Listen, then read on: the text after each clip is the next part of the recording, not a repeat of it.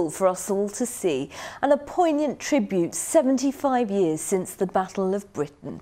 Today, the clouds across our region disappeared to make way for a flypast of dozens of surviving planes and veterans who fought in the campaign against the German Luftwaffe.